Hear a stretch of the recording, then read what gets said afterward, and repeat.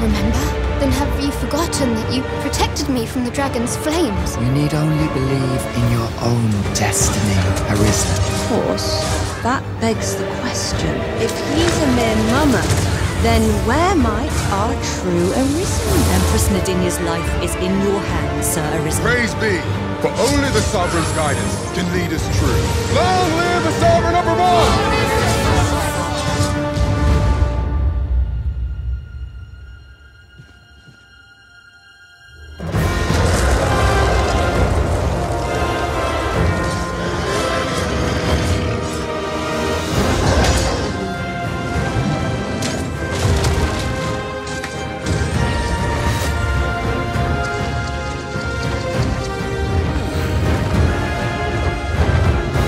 is most unfortunate.